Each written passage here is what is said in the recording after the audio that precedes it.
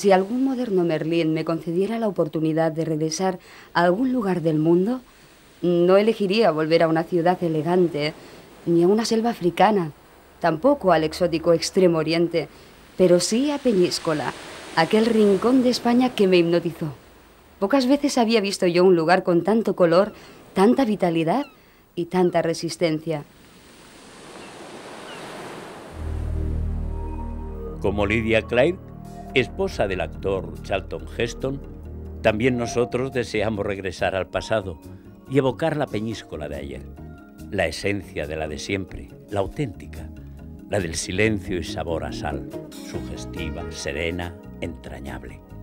Esa peñíscola encerrada en sus ciclópeos muros y abierta al infinito con su silueta inconfundible.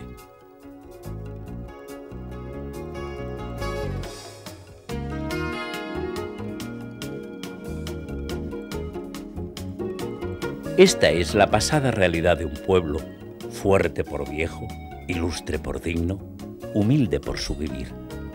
Un recuerdo, una mirada nostálgica y testimonial con la que queremos contribuir a que continúen latentes esos elementos diversos de un entrañable pueblo con el norte en la mar y el saber en la experiencia.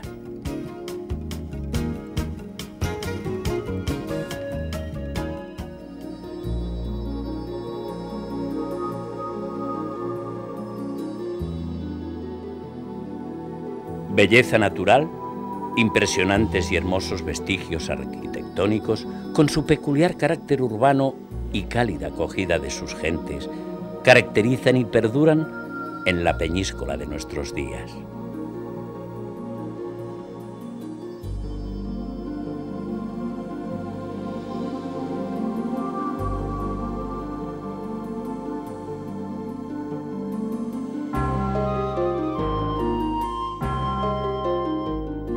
Portal de San Pere.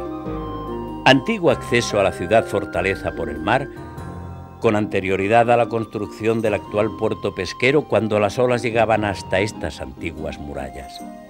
Alguna vez, por las continuas ansias dominadoras al estratégico baluarte, cualquier medio de evitar el acoso era válido, cortando el paso al enemigo, como en este caso, a cal y canto. Iglesia parroquial. Interesante monumento restaurado en su exterior en la actualidad. En la Guerra Civil del 36 se destruyó su altar churigueresco, dedicado a la Virgen del Socorro, a cuya advocación está el templo. El ermitorio de la patrona de la ciudad, la Mara de Deuda la Ermitana, es una construcción de sillería con aire característico del barroco valenciano. El templo preside no solo la plaza, sino la vida y el sentimiento de toda la población. La primitiva imagen desapareció en 1936.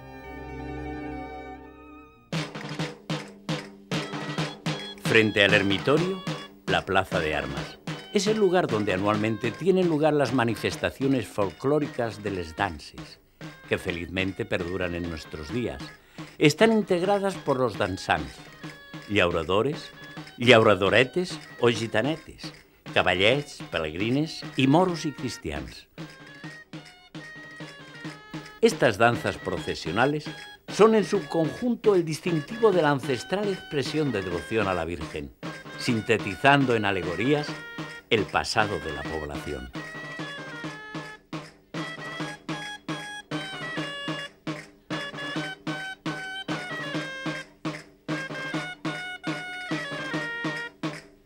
Izado en la cúspide de la pétrea mole, perpetuamente está el castillo. Imponente y dominante, nunca humillado, jamás vencido. Baluarte de ambiciones guerreras y abrigo de colonizadores, alcazaba musulmana, bastión templario, gran fortaleza donde el controvertido Papa Luna vivió seguro y al margen de las maquinaciones y acechanzas de intereses y egoísmos terrenales. En 1890, al perder la ciudad su guarnición militar, permanecería en abandono hasta que, en 1957, fue confiado por el Estado español a la Diputación Provincial de Castellón para su restauración y conservación. A los pies del soberbio castillo se halla el apiñamiento del caserío blanqueazul, de más de 500 viviendas articuladas en un conjunto de estructura arábigo medieval de unas 27 calles, empinadas, estrechas y tortuosas que se encaraman en la ladera sudoccidental del promontorio.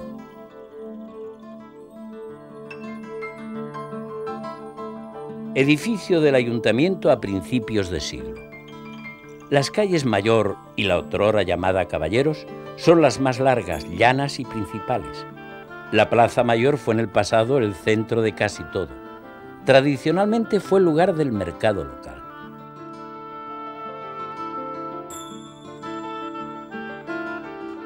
La antigua casa popular peñiscolana, marinera y labradora es de construcción sencilla pero inteligente, con gran riqueza espacial y funcional. Sin cimientos, asentada directamente sobre la roca, refleja un hondo carácter mediterráneo e indudable influencia fenicia.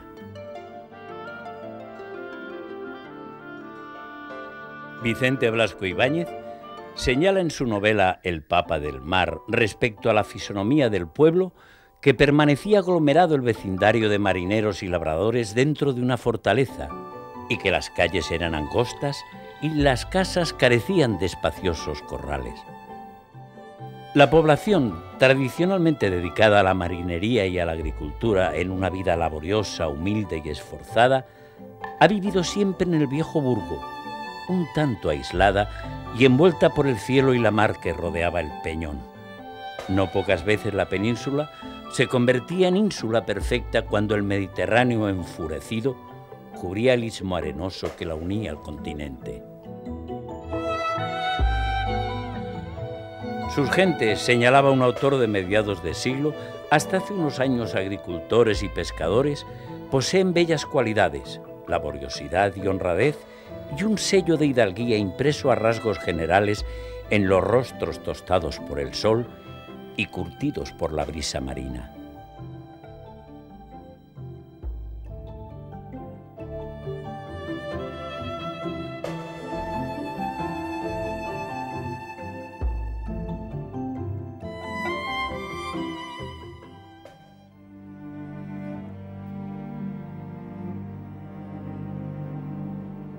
Los sufridos labradores, con total entrega y fecunda laboriosidad, han convertido en fértiles huertas pedregosas y áridas zonas de secano. Su carro, perro y vida tarifada ha sido una constante local.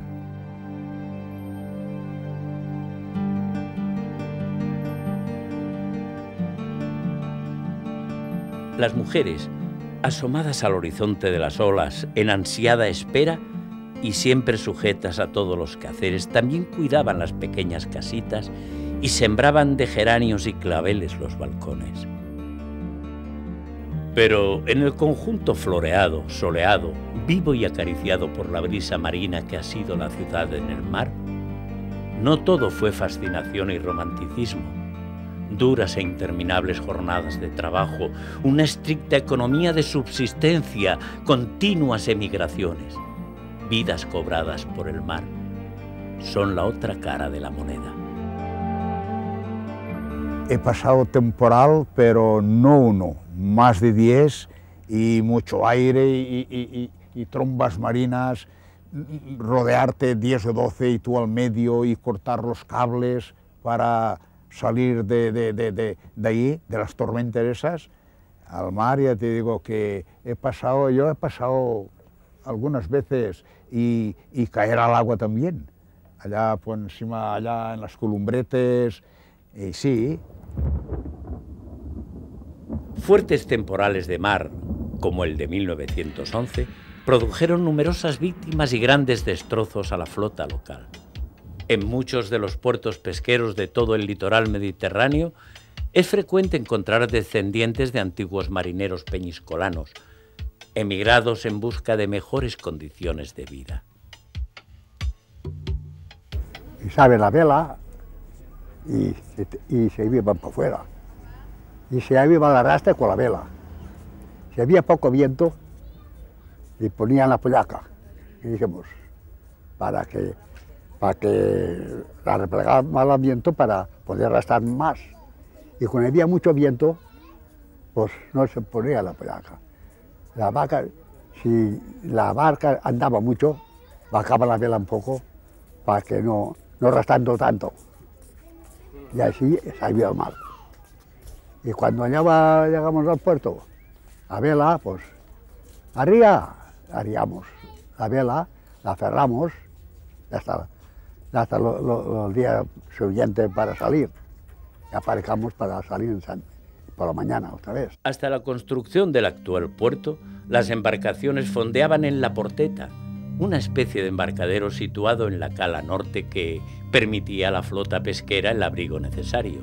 Los barcos entraban ahí a la parte donde está la playa norte, ahí hace como una cala ahí, el recodo ese que está ahí, los restaurantes del Rocamart, ahí se, se ponían los barcos de, que iban todos a vela, la Sardina y Trasmallo, y pues ahí era, el puerto era este. Pero cuando movía el aire de, del este, ¿eh?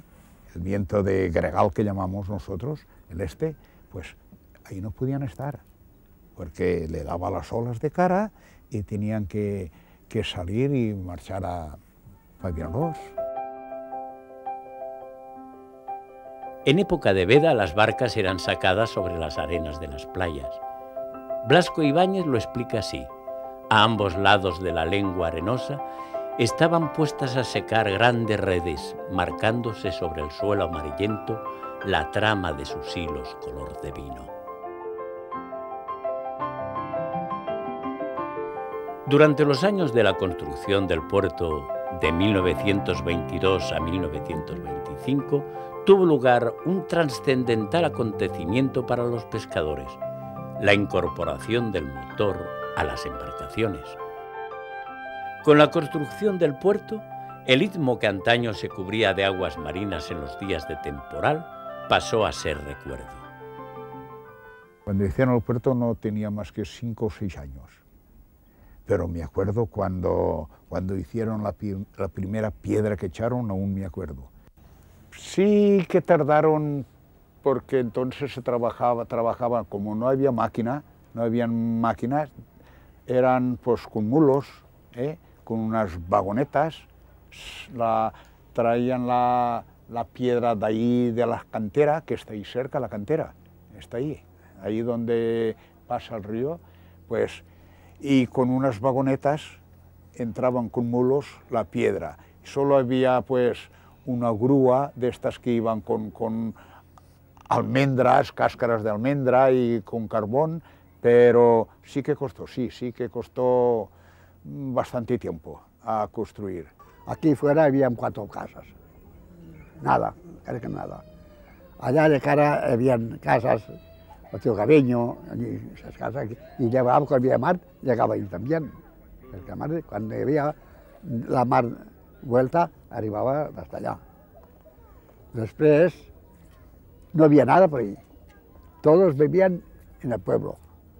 Había en el pueblo corrales para, atacar los mulos, el carros, las garrobas que, que traían todas, todas se traían al pueblo porque aquí fuera no había nada. Ah, una vez se, ha terminado la guerra, se ha hecho todo eso, que no había nada. Y ahora es más grande si fuera que no haya el pueblo. Los jóvenes todos viven aquí. Ahora todos somos viejos ahí arriba.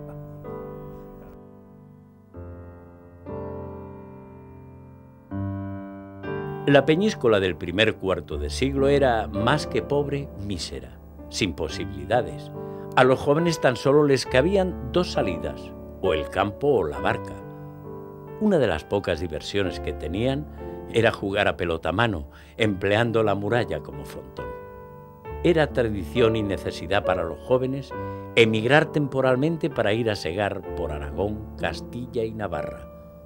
Eran escasos los peñiscolanos que llegaban a casarse sin haber salido previamente a segar.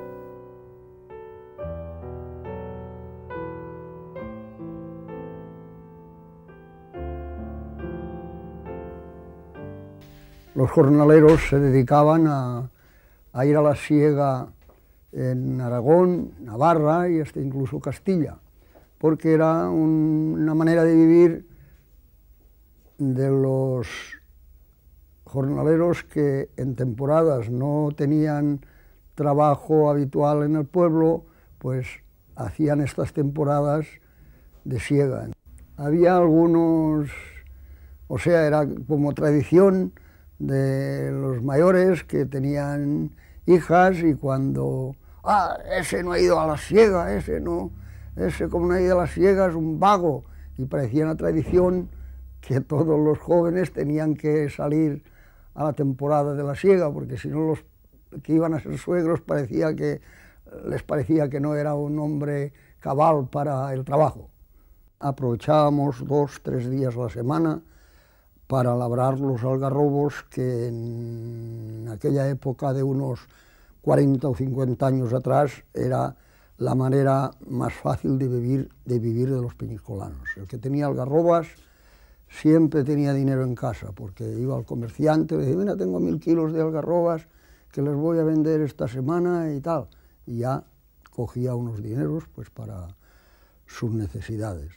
Y así se iba viviendo, o se ha ido viviendo desde que yo tengo uso de razón en las casas agrícolas de Peñíscola. Alrededor de los años 20 comenzaron a construirse almacenes y viviendas sobre la lengua arenosa que une la roca con el continente. Anteriormente, hasta 1890, estuvo prohibido por la condición de ser Peñíscola plaza de guarnición militar. Sería a finales de la década de los años 50 cuando se iniciarían los mayores cambios en la estructura económica y social, rompiéndose la inercia que ataba a la población a viejos sistemas de subsistencia. Era un tiempo ya perdido en el que por cualquier recodo de sus callejas pinas y blancas, grupos de mujeres descalzas y sentadas en el suelo remendaban redes o tejían mallas. Una época en que las senies o norias morunas, construidas íntegramente en madera, sacaban el agua de las entrañas de la tierra.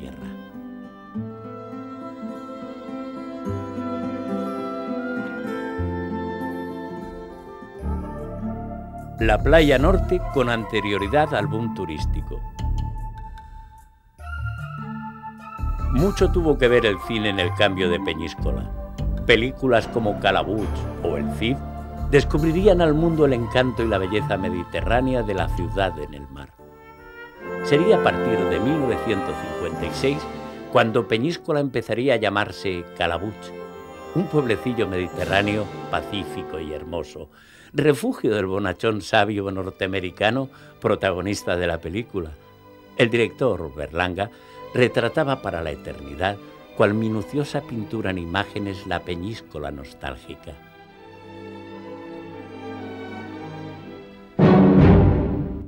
Años después, en 1961, Peñíscola sería la Valencia del Cid y escenario principal de las espectaculares batallas libradas en la playa, formidable estudio al aire libre.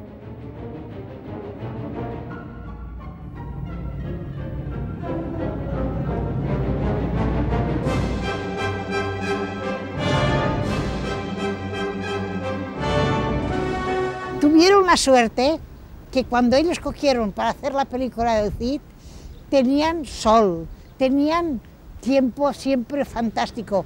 No dejaron ni un día de rodar por el mal tiempo. La película del Cid aquí trabajaban todos los barcos, trabajábamos, todos, que no los conocíamos, por cierto no conocíamos los barcos. Bajábamos los dueños y no sabía el barco que era porque lo, los dispersaron todos, con una chapa todo forrado por fuera y pintados todos de negro, todos de negro, con una bandera de, pirata llevaban y, y nosotros pues sí, salíamos y ahí la playa norte, estábamos todo el día ahí parados, los barcos fondeados ahí. Se ganó mucho dinero, se trabajó, mucha gente trabajó, pero también se degeneró bastante gente del pueblo, tanto que los padres tenían miedo de los hijos y los decían que prontito en casa, porque era peligroso. El cine sería la fórmula mágica que propiciaría un nuevo derrotero para la población, su reuniversalización. El futuro se hacía prometedor. El boom turístico adquiría visos de realidad.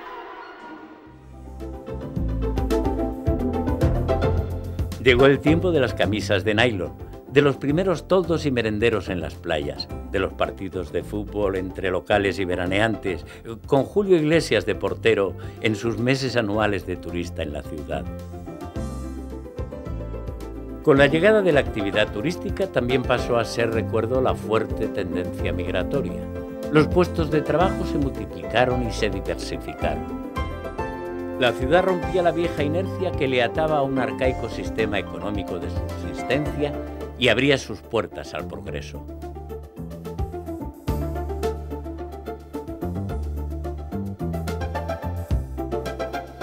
Con la oleada turística, la ampliación del dominio urbano fuera del casco antiguo no ha cesado.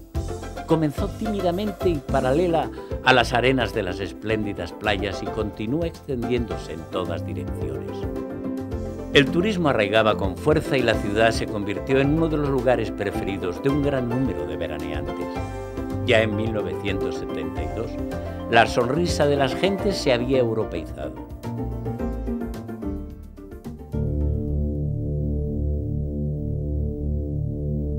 El monumental conjunto histórico, erguido sobre la gigantesca roca, ha suscitado también la fantasía popular con abundantes leyendas aspectos inéditos del alma peñiscolana. Los llamados sucesos extraordinarios integran un gran repertorio. Uno de ellos supone que la sombra del Papa Luna permanece después de muerto en el castillo, apareciendo en las ventanas en las noches de luna llena y fijando su mirada desdeñosa en el espacio, como si pretendiera buscar a Roma y transmitir al mundo su mensaje. El verdadero Papa soy yo.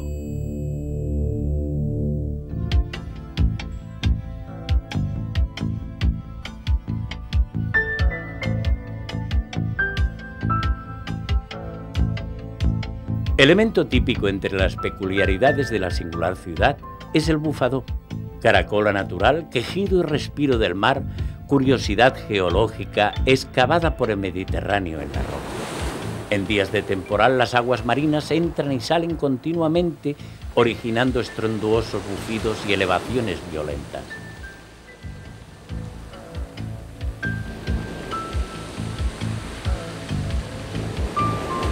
Sorprende la ciudad en el mar por sus abundantes manantiales de agua dulce que nunca han menguado en su caudal y cuya calidad es declarada inmejorable. Dos fueron las fuentes principales de las que se abasteció durante siglos la población. La llamada de Dins o de Santana, a la que el progreso hizo desaparecer, y la de Fora o de la Pechina, que tuvo anejos los lavaderos públicos.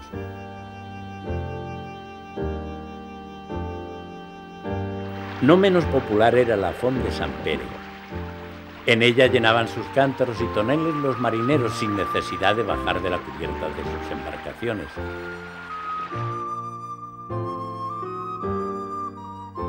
El insigne escritor valenciano Vicente Blasco Ibáñez quiso vivir Peñíscola de cerca, escudriñar la población. Llegó en una comitiva de cuatro automóviles que por la novedad provocaron una considerable algarabía. Todo cuanto el novelista vio y observó está presente en la novela El Papa del Mar, siendo esta una descripción real y detallada de la peñíscola de los años 20.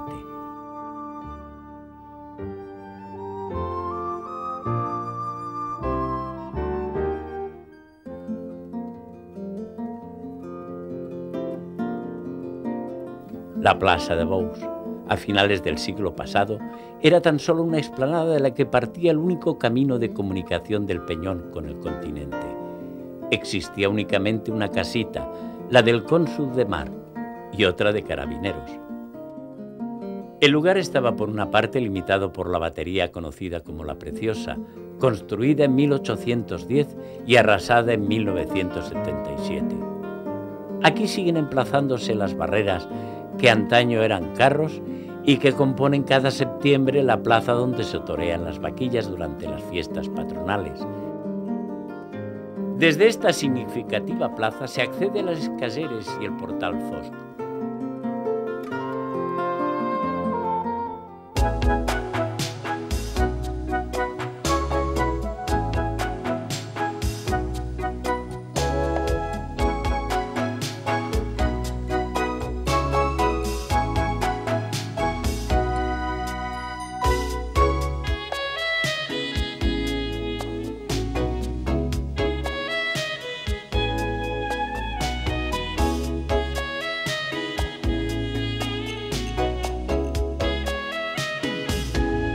La Peñíscola de Calabuch, la ciudad de 1956, ha dado paso a un centro turístico internacional de inusitados atractivos en el que la continuidad entre el día y la noche, entre el trabajo y la diversión o el comercio y el negocio, apenas si tienen distinción.